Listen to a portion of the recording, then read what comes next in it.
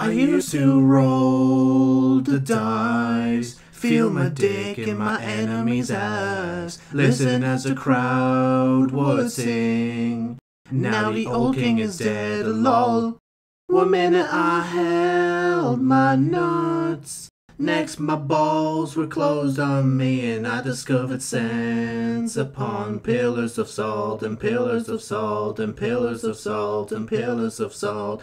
I hear Jackie Chan singing, oh, Omi wan shinderu, beat my meat, my sauce.